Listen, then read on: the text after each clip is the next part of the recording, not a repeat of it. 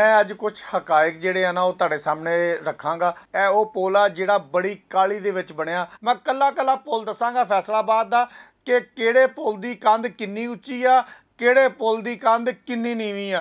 ਇਹ ਤਕਰੀਬਨ 10 ਇੰਚ ਦਾ ਇਹ ਬਣਿਆ ਹੈ ਜੀ। 26 27 ਇੰਚ ਬਣ ਰਹੀ ਆ। ਇਹ 20 ਇੰਚ ਦਾ ਇਹਨਾਂ ਨੇ ਇਹ ਲਾਤਾ ਇਹ ਇਹਨਾਂ ਨੇ ਹੁਣ ਲਾਇਆ ਵਾ ਤਿੰਨ ਜਾਨਾਂ ਜਾਣ ਤੋਂ ਬਾਅਦ। ਸਮੁੰਦਰੀ ਰੋਡ ਤੋਂ ਡਿਚਕੋਟ ਵੱਲ ਨੂੰ ਜਿਹੜਾ ਪੁਲ ਜਾਂਦਾ ਨਾ 52 ਇੰਚ ਦੀ ਟੋਟਲ ਹਾਈਟ ਬਣਦੀ ਆ। ਜੀਟੀਐਸ ਤੋਂ ਸਮੁੰਦਰੀ ਰੋਡ ਵੱਲ ਨੂੰ ਜਾਂਦਾ ਨਾ ਇਹ ਵੀ ਇੱਕ ਨਵਾਂ ਪੁਲ ਬਣਿਆ ਸੀਗਾ।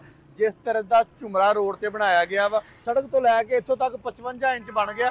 ਅਫਸਰਾਨੇ ਬਾਲਾਂ ਨੂੰ ਹਕਾਮੇ ਬਾਲਾਂ ਨੂੰ ਮੈਂ ਦੱਸਾਂਗਾ ਕਿ 55 ਇੰਚ ਅਸਲ ਵਜ੍ਹਾ ਨੇ ਇੱਥੋਂ ਲੋਕਾਂ ਦੇ ਨਾ ਗਿਰਨ ਦੀ। ਜਿਹੜਾ ਵਾਲੇ ਰੋਡ ਤੋਂ ਨਾ ਸਟੇਸ਼ਨ ਚੌਕ ਵੱਲ ਨੂੰ ਜਾਂਦਾ ਵਾ, ਇਹ ਸ਼ਾਇਦ ਉਦੋਂ ਦਾ ਪੁਲ ਬਣਿਆ ਆ, ਜਦੋਂ ਅਸੀਂ ਇਸ ਦੁਨੀਆ ਤੇ ਜੰਮੇ ਵੀ ਨਹੀਂ ਸੀਗੇ। 43 ਇੰਚ ਲੰਬਾ ਜਨਾਬੇ ਵਾਲੀ ਉਦੋਂ ਦੇ ਇੰਜੀਨੀਅਰ ਜਿਹੜੇ ਸੀ ਨਾ, ਉਹਨਾਂ ਨੇ ਬਣਾਇਆ ਹੋਇਆ ਵਾ, ਜਿਹੜਾ ਜਨਾਬ ਨੇ ਬਣਾਇਆ ਵਾ, ਉਹਦੀ ਲੰਬਾਈ, ਉਹਦੀ ਚੌੜਾਈ ਤੁਸੀਂ ਦੇਖ ਲਈ ਆ। ਇੰਚ ਇੰਚ ਜਿਹੜੀ ਆ ਨਾ, ਅਸੀਂ ਤੁਹਾਨੂੰ ਦਿਖਾਤੀ। ਅਸਲਾਮ ਅਲੈਕੁਮ।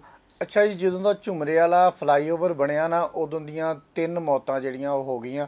ਤੇ ਹਰ ਬੰਦਾ ਹੀ ਜਿਹੜਾ ਨਾ, ਉਹਦੇ ਉੱਤੇ ਗੱਲ ਕਰ ਰਿਹਾ ਵਾ ਕਿ ਇਹ ਜਨਾਬੇ ਵਾਲੀ ਤੇਜ਼ ਰਫ਼ਤਾਰ ਮੋਟਰਸਾਈਕਲ ਵਾਲਿਆਂ ਦੀ ਗਲਤੀ ਆ, ਪੁਲ ਬਣਾਉਣ ਵਾਲਿਆਂ ਦੀ ਗਲਤੀ ਆ। ਮੈਂ ਅੱਜ ਕੁਝ ਹਕਾਇਕ ਜਿਹੜੇ ਆ ਨਾ, ਉਹ ਤੁਹਾਡੇ ਸਾਹਮਣੇ ਰੱਖਾਂਗਾ ਤੇ ਫੈਸਲਾ ਤੁਸੀਂ ਕਰਨਾ ਵਾ ਕਿ ਗਲਤੀ ਕਿਹਦੀ ਆ। ਇਹ ਉਹ ਪੁਲ ਆ ਜਿਹੜਾ ਬੜੀ ਕਾਲੀ ਦੇ ਵਿੱਚ ਬਣਿਆ ਕਿ ਇੰਨੀ ਸਾਨੂੰ ਕਾਲੀ ਸੀਗੀ ਕਿ ਅਸੀਂ ਪਹਿਲੇ ਤਾਂ 1 ਮਹੀਨੇ 'ਚ ਬਣਾਤਾ ਫਿਰ 2 ਮਹੀਨੇ 'ਚ ਬਣਾਤਾ ਫਿਰ 3 ਮਹੀਨੇ 'ਚ ਬਣਾਤਾ ਫਿਰ ਜਨਾਬੇ ਵਾਲੀ ਇਹਦੀ ਇਫਤਤਾਹ ਵਾਸਤੇ ਅਸੀਂ ਖਲੋਤੇ ਰਹੇ ਕਿ ਇਹਦਾ ਇਫਤਤਾਹ ਹੋਏਗਾ। ਹੁਣ ਜਨਾਬੇ ਵਾਲੀ ਨੁਕਸ ਤੁਸੀਂ ਦੇਖਣਾ ਵਾ, ਦੱਸਣਾ ਤੁਹਾਨੂੰ ਮੈਂ ਵਾ ਕਿ ਕਿੱਥੇ ਫਾਲਟ ਆ ਕਿਹਦਾ ਗੁਨਾਹ ਵਾ? ਇਹਦੇ ਵਿੱਚ ਜਨਾਬੇ ਲਈ ਇੱਕ ਨੈਸਪਾ ਕੋਈ ਅਦਾਰਾ ਵਾ ਵਾਵਾ ਮਹਿੰਗਾ ਤੇ ਵਾਵਾ ਵੱਡਾ, ਜਿਹਦੇ ਕੋਲੋਂ ਇਹਦਾ ਡਿਜ਼ਾਈਨ ਬਣਵਾਇਆ ਗਿਆ। ਜਦੋਂ ਡਿਜ਼ਾਈਨ ਬਣਵਾਇਆ ਗਿਆ ਤੇ ਤਕਰੀਬਨ ਇਹਦਾ ਡਿਜ਼ਾਈਨ ਜਿਹੜਾ ਨਾ ਝਾਲ ਵਾਲਾ ਪੁਲ, ਜਦੋਂ ਸਮੁੰਦਰੀ ਰੋਡ ਨੂੰ ਮੁੜਦਾ ਨਾ, ਉਹਦੇ ਨਾਲ ਮਿਲਦਾ ਜੁਲਦਾ ਵਾ। ਉਹ ਵੀ ਇਸੇ ਤਰ੍ਹਾਂ ਹੀ ਕੱਟ ਹੈਗਾ, ਇਹ ਵੀ ਉਸੇ ਤਰ੍ਹਾਂ ਹੀ ਕੱਟ ਹੈਗਾ। ਹੁਣ ਇਹਦੇ ਜਿਹੜੀ ਨਾਲ ਕੰਧ ਬਣੀ ਆ, ਜਿਹੜੀ ਸਪੋਰਟ ਆ, ਜਿਹਦੇ ਉੱਤੋਂ ਬੱਚੇ ਡਿੱਗ ਕੇ ਜ਼ਿੰਦਗੀ ਦੀ ਬਾਜ਼ੀ ਹਾਰ ਗਏ ਉਹ ਕਿੰਨੀ ਆ? ਤੇ ਝਾਲ ਵਾਲੇ ਦੀ ਕਿੰਨੀ ਆ? ਮੁਆਜ਼ਨਾ ਪਹਿਲੇ ਕਰ ਲਈਏ, ਇਹਨਾਂ ਦੋਨਾਂ ਦਾ ਫਿਰ ਬਾਕੀ ਗੱਲਾਂ ਕਰਾਂਗੇ। ਮੈਂ ਕੱਲਾ ਕੱਲਾ ਪੁਲ ਦੱਸਾਂਗਾ ਫੈਸਲਾਬਾਦ ਦਾ ਕਿ ਕਿਹੜੇ ਪੁਲ ਦੀ ਕੰਧ ਕਿੰਨੀ ਉੱਚੀ ਆ, ਕਿਹੜੇ ਪੁਲ ਦੀ ਕੰਧ ਕਿੰਨੀ ਨੀਵੀਂ ਆ। ਇਹ ਜਨਾਬੇ ਦੀ ਸਾਰੀ ਰੱਖਾਂਗਾ। ਬਹੁਤ ਜ਼ਿਆਦਾ ਪੁਲ ਨਹੀਂ ਹੈਗੇ ਫੈਸਲਾਬਾਦ ਦੇ ਵਿੱਚ। ਅੱਧਾ ਘੰਟਾ ਲੱਗਦਾ ਬੰਦਾ ਸਾਰੇ ਪੁਲਾਂ ਦੀ ਨਾ ਪਮੈਸ਼ ਕਰ ਲੈਂਦਾ। ਇੰਚੀ ਟੇਪ ਬੰਦੇ ਦੇ ਹੱਥ ਵਿੱਚ ਹੋਵੇ ਤੇ ਬੰਦਾ ਤੁਰਿਆ ਜਾਂਦਾ ਪਮੈਸ਼ ਕਰਕੇ ਆਪਣੇ ਫੈਸਲਾਬਾਦ ਦੀਆਂ ਦੇ ਅੱਗੇ ਰੱਖ ਲਓ। ਫੈਸਲਾਬਾਦ ਵਾਲੇ ਫੈਸਲਾ ਕਰ ਲੈਣਗੇ। ਕਸੂਰ ਕਿਹੜੀ ਕੰਪਨੀ ਦਾ ਵਾ? ਜਨਾਬੇ ਵਾਲੀ ਸਭ ਤੋਂ ਪਹਿਲੇ ਆਪਾਂ ਗੱਲ ਕਰਦੇ ਆ ਜਿਹੜਾ ਨਵਾਂ ਪੁਲ ਬਣਿਆ ਸੀਗਾ ਸਮੁੰਦਰੀ ਰੋਡ ਵੱਲ ਨੂੰ ਜਾਂਦਾ ਵਾ। ਹੁਣ ਜਿਹੜਾ ਜੀਟੀਐਸ ਤੋਂ ਸਮੁੰਦਰੀ ਰੋਡ ਵੱਲ ਨੂੰ ਜਾਂਦਾ ਨਾ, ਇਹ ਵੀ ਇੱਕ ਨਵਾਂ ਪੁਲ ਬਣਿਆ ਸੀਗਾ, ਜਿਸ ਤਰ੍ਹਾਂ ਦਾ ਝੁਮਰਾ ਰੋਡ ਤੇ ਬਣਾਇਆ ਗਿਆ ਵਾ ਜਿੱਤੋਂ ਡਿੱਗ ਕੇ ਤਿੰਨ ਹਲਾਕਤਾਂ ਹੋ ਗਈਆਂ ਵਾ। ਹੁਣ ਅਸੀਂ ਇਹਦਾ ਉਹਦੇ ਨਾਲ ਮੁਆਜ਼ਨਾ ਕਰਨਾ ਵਾ, ਕਿਉਂਕਿ ਇਹ ਨਵੇਂ ਨੇ। ਇਹਨੂੰ ਬਣੇ ਨੂੰ ਵੀ ਮਤਲਬ ਜ਼ਿਆਦਾ ਨਹੀਂ ਕੋਈ ਅਰਸਾ ਹੋ ਗਿਆ। ਇਹ ਵੀ ਉਸੇ ਮਕਸਦ ਵਾਸਤੇ ਬਣਾਇਆ ਗਿਆ ਸੀ। ਇਹਦੀ ਤਰ੍ਹਾਂ ਪਮੈਸ਼ ਕਰ ਲੈਣੇ ਆਪਾਂ। ਇਹ ਜਨਾਬੇ ਵਾਲੀ ਥੱਲੋਂ ਸੜਕ ਤੋਂ ਸ਼ੁਰੂ ਕਰ ਲਈਏ ਜੀ ਪਹਿਲੇ ਆਨੇ ਆ ਜੀ ਇਹਦੀ ਇੱਥੇ ਤੱਕ। ਇਹ ਆ ਗਿਆ ਜੀ 42 ਇੰਚ। 42 ਇੰਚ ਤੋਂ ਬਾਅਦ ਉੱਪਰ ਇਹਦੇ ਗ੍ਰਿਲ ਲੱਗੀ ਹੋਈ ਹੈ ਜੀ। ਇਹਦੀ ਪਮੈਸ਼ ਵੀ ਕਰ ਲੈਣੇ ਹੈ। ਤੇ ਖੂਬਸੂਰਤੀ ਵਾਸਤੇ ਲਾਈ ਹੋਈ ਆ। ਲੇਕਿਨ ਇਹ ਹੈਗੀ ਜੀ ਤਕਰੀਬਨ 1 ਫੁੱਟ ਦੀ। ਇਹਨੂੰ ਨੂੰ ਟੋਟਲ ਵੀ ਕਰ ਲਈਏ ਇੱਕ ਵਾਰੀ। 41 42 ਇੰਚ ਨੂੰ ਟੋਟਲ ਕਰ ਲਈਏ ਇੱਥੋਂ ਤੱਕ ਆਪਾਂ ਨਾ। ਇਹ ਬਣ ਗਿਆ ਜੀ ਤਕਰੀਬਨ 55 ਹਾਂਜੀ 55 ਇੰਚ। ਸੜਕ ਤੋਂ ਲੈ ਕੇ ਇੱਥੋਂ ਤੱਕ 55 ਇੰਚ ਬਣ ਗਿਆ।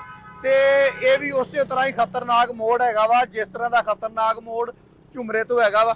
ਇਹ 55 ਇੰਚ ਜਨਾਬ ਅਫਸਰਾਨੇ ਬਾਲਾਂ ਨੂੰ ਹਕਾਮੇ ਬਾਲਾਂ ਨੂੰ ਮੈਂ ਦੱਸਾਂਗਾ ਕਿ 55 ਇੰਚ ਅਸਲ ਵਜ੍ਹਾ ਨੇ ਇੱਥੋਂ ਲੋਕਾਂ ਦੇ ਨਾ ਗਿਰਨ ਦੀ। ਜਿਹੜਾ ਜਨਾਬ ਨੇ ਬਣਾਇਆ ਵਾ, ਉਹਦੀ ਲੰਬਾਈ, ਉਹਦੀ ਚੌੜਾਈ ਤੁਸੀਂ ਦੇਖ ਲਈ ਆ।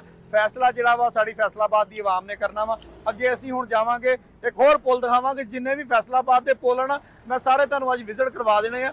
ਫੈਸਲਾ ਤੁਸੀਂ ਕਰਨਾ ਵਾ ਕਿ ਕਸੂਰ ਕਿਹਦਾ ਵਾ। ਮੈਂ ਉਸ ਪੁਲ ਦੇ ਉੱਤੇ ਖਲੋਤਾ ਆ, ਜਿਹੜਾ ਜੜਾਂ ਵਾਲੇ ਰੋਡ ਤੋਂ ਨਾ ਸਟੇਸ਼ਨ ਚੌਕ ਵੱਲ ਨੂੰ ਜਾਂਦਾ ਵਾ।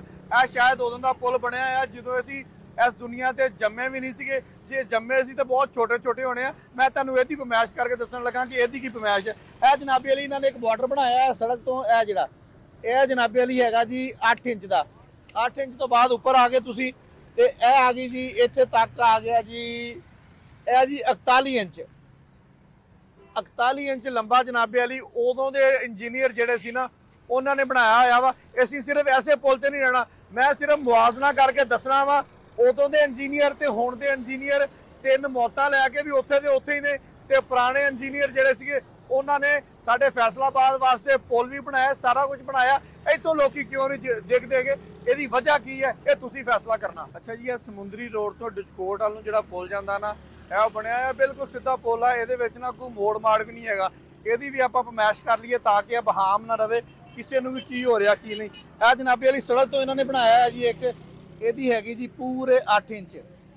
8 ਇੰਚ ਦਾ ਇਹ ਹੈਗਾ ਵਾ, ਇਸ ਤੋਂ ਬਾਅਦ ਅਸੀਂ ਅੱਗੇ ਚੱਲਾਂਗੇ। ਇਹ ਜੀ ਅੱਲਾ ਤੁਹਾਡਾ ਭਲਾ ਕਰੇ। 42 ਇੰਚ। ਇਹ ਸਿੱਧਾ ਪੁਲ ਆ, ਇਹਦੇ ਵਿੱਚ ਕੋਈ ਮੋੜ ਵੀ ਏਡਾ ਖਾਸ ਨਹੀਂ ਹੈਗਾ, ਜਿਹਨੂੰ ਖਤਰਨਾਕ ਮੋੜ ਕਿਹਾ ਜਾਵੇ। ਬਿਲਕੁਲ ਸਿਰਫ ਨਾ ਰੇਲਵੇ ਲਾਈਨ ਨੂੰ ਅਬੂਰ ਕਰਨ ਵਾਸਤੇ ਮੇਰੇ ਖਿਆਲ ਦੇ ਨਾਲ ਪੁਲ ਬਣਾਇਆ ਗਿਆ ਸੀ ਜਿਸ ਚ ਵਲ ਨਹੀਂ ਹੈਗਾ। ਉਹਦੇ ਬਾਵਜੂਦ ਇਹਦੀ ਹਾਈਟ ਜਿਹੜੀ ਆ 10 ਤੇ 42 ਆ, ਮਤਲਬ 52 ਇੰਚ ਦੀ ਟੋਟਲ ਹਾਈਟ ਬਣਦੀ ਆ।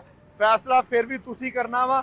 ਕਿ ਕੌਣ ਸੱਚਾ ਵਾ ਤੇ ਕੌਣ ਝੂਠਾ ਵਾ ਆਓ ਅੱਗੇ ਅੱਛਾ ਜੀ ਇਹ ਪਰਮੇਸ਼ਾ ਤੁਸੀਂ ਦੇਖ ਲਈਆਂ ਅਸੀਂ ਬਕਾਇਦਾ ਇੰਚੀ ਟੇਪ ਮੁੱਲ ਲਈ ਇੱਕ ਉਸ ਤੋਂ ਬਾਅਦ ਹਰ ਪੁਲ ਦੇ ਉੱਤੇ ਗਏ ਕੱਲੇ ਕੱਲੇ ਪੁਲ ਦੀ ਕੰਧ ਨਾਪੀ ਇੰਚ ਇੰਚ ਜਿਹੜੀ ਆ ਨਾ ਅਸੀਂ ਤੁਹਾਨੂੰ ਦਿਖਾਤੀ ਮੇਰੀ ਜਨਾਬ ਹਕੂਮਤੇ ਵਕਤ ਅੱਗੇ ਇੱਕ ਹੀ ਦਰਖਾਸਤ ਆ ਕਿ ਜਨਾਬ ਇਹਦੀ ਇੱਕ ਸ਼ਫਾਫ ਇਨਕੁਆਇਰੀ ਕਰਵਾ ਲਈ ਜਾਵੇ ਉਸ ਇਨਕੁਆਇਰੀ ਦੇ ਵਿੱਚ ਦੁੱਧ ਦਾ ਦੁੱਧ ਤੇ ਪਾਣੀ ਦਾ ਪਾਣੀ ਹੋ ਜੇ तमाम ਡਿਜ਼ਾਈਨਰ ਤਮਾਮ ਇਹਨੂੰ ਬਣਾਉਣ ਵਾਲੇ ਸਾਰੇ ਅਦਾਰੇ ਜਿੰਨੇ ਵੀ ਇਹਦੇ ਵਿੱਚ ਮੁਲਵਸ ਸੀਗੇ ਸਾਰਿਆਂ ਨੂੰ ਉਸ ਇਨਕੁਆਇਰੀ ਦੇ ਵਿੱਚ ਸ਼ਾਮਲ ਕੀਤਾ ਜਾਵੇ ਸ਼ਾਮਲ ਕਰਨ ਤੋਂ ਬਾਅਦ ਹਕਾਇਕ ਜਿਹੜੇ ਆ ਫੈਸਲਾਬਾਦੀ ਆਵਾਮ ਦੇ ਅੱਗੇ ਲਿਆਦੇ ਜਾਣ ਕਿ ਇਹ ਅਸਲ ਹਕਾਇਕ ਨੇ ਇਹਦੀਆਂ ਕੰਧਾਂ ਆਖਰ ਕਿਉਂ ਛੋਟੀਆਂ ਬਣਾਈਆਂ ਗਈਆਂ ਅਗਰ ਕਿਸੇ ਨੇ ਇਹਦੇ ਵਿੱਚ ਕਰਪਸ਼ਨ ਕੀਤੀ ਹੈ ਉਹ ਵੀ ਸਾਹਮਣੇ ਆ ਜਾਏਗੀ ਅਗਰ ਕਿਸੇ ਦੀ ਗਲਤੀ ਹੈ ਉਹ ਵੀ ਸਾਹਮਣੇ ਆ ਜਾਏਗੀ ਹਕਾਇਕ ਜਿਹੜੇ ਆ ਉਹ ਫੈਸਲਾਬਾਦੀ ਆਵਾਮ ਦੇ ਬਿਲਕੁਲ ਸਾਹਮਣੇ ਆਉਣੇ ਚਾਹੀਦੇ ਆ ਬਹੁਤ ਸ਼ੁਕਰੀਆ